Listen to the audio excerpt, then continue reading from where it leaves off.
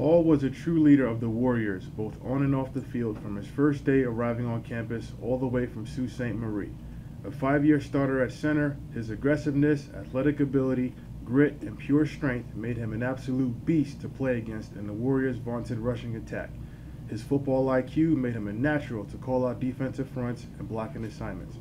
A multi year team captain, Sguigna was a big part of the Warriors' success, winning the Yates Cups in both 1997 as well as in 1999.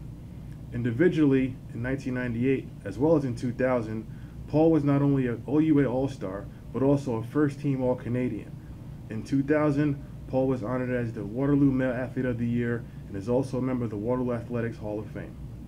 I met Paul 20 years ago. He sat in this locker.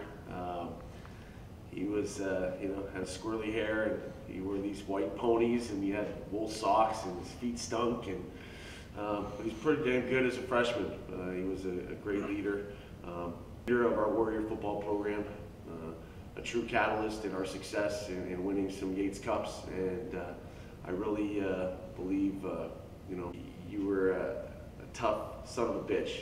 No, sorry, Marine.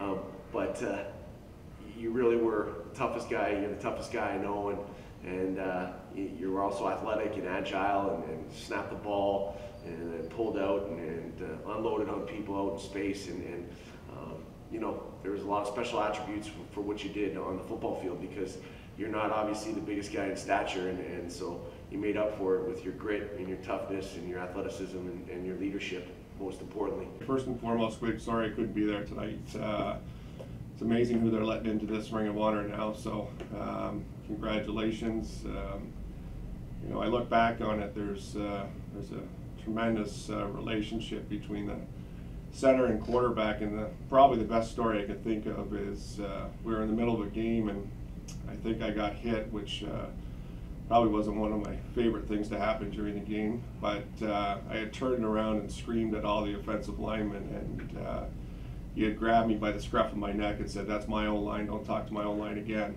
And uh, I think from that day forward, we went forward with the same type of mutual respect that you take care of the old line, and uh, essentially looked it was like having two quarterbacks out in the field. Great friend, uh, great center, uh, great protector.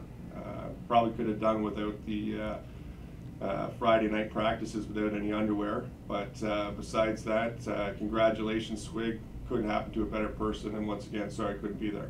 Have a great night, guys. Thank you for your friendship. And uh, the biggest thing that I know uh, for the last 20 years is that you're a, a, good man, a good husband, a good father, and a great friend, and a great supporter of Warrior football. So congratulations, Squiggy. Uh, it's a good thing I'm the head coach. Uh, congratulations on your induction into the Waterloo Warriors Ring of Honor.